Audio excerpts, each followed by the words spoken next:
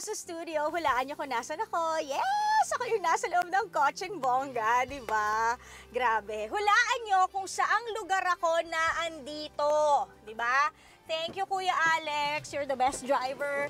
Good morning ulit. Eto na ako. O, di ba? Nandito tayo ngayon sa Batangas City para i-check natin kung gaano ba talaga ka-high-tech ang isang hotel dito. High-tech and very bongga daw. Kaya alika, pasok tayo sa loob. Ay, good morning po! O, di ba? Ang dami kong fans. Charot! good morning!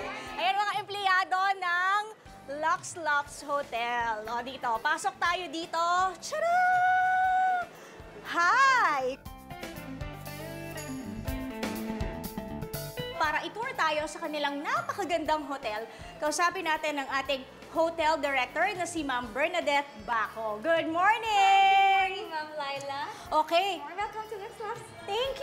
Di, teka, ang ganda naman ng hotel mo. Saan ba tayo pupunta? Balita ko kasi... namin. Ah, sige, balita ko kasi high-tech tong hotel mo. Gaano ba Yes. siya ka-high-tech? Mga di push button, di swipe? Gaano karaming kwarto meron ang Lux Loft Hotel? We have 11 units. Okay. And 10 of them Oh. are what we call the regular lofts. Okay. And one room is what we call the honeymoon loft. Bakit ganon? Facial identification ba ang tawag doon? For your convenience, Mm-hmm. we just use the face. At saka mas ano po natin security. Mm. O sige, try natin. to. Tingnan natin ha. Eto, nasa na ba yung mata ko? Hello? Ay, bibig ko pala yon. Yan. Oh, di ba? Bumukas. So, ayan!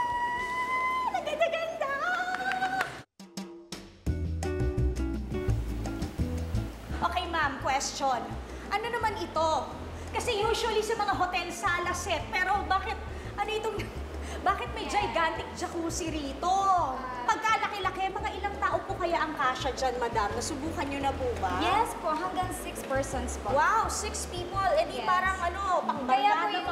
pang unit pamilya. namin is for 6 people. Ah, okay. Pwede siya. Per room, pwedeng Yes anim per- na tao. Yes po, pwede siya. And yung mga kwarto, dahil nga loft Loft, na tinatawag, nasa Na- taas. nasa taas. Oh, sige, akyatin natin yung mga kwarto. I-surprise mo ako. Let's go.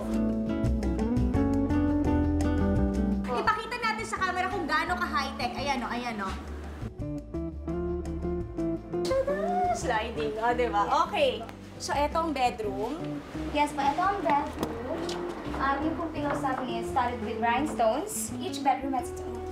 Pero syempre, yung pinakang ah, maganda ritong parte, Overlooking! Ganda-ganda, di ba? Ito, parang TV yata yun, ano? Yes, Nakikita mo? Oh. it's a video po. And pag nag-doorbell sila makikita, makikita niyo yung tao na nasa labas. Ay!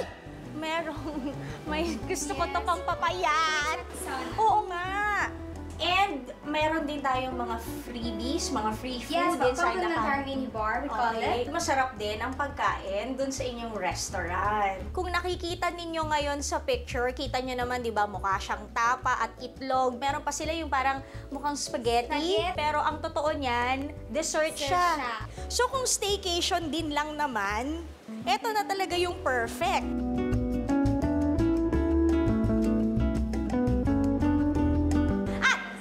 Pala, ang mas maganda niyan, kahit hindi ka naka-bathing suit, okay lang. Bakit? Kasi it's your own. Oo nga Private naman. pool. Thank you so much, Ma'am Bernadette. Thank you. Maraming Thank salamat. Ayan, o, paano? Balik muna sa inyo sa studio. Lalangoy-langoy lang ako dito. Yee! Testing natin ito. Woo! Woo!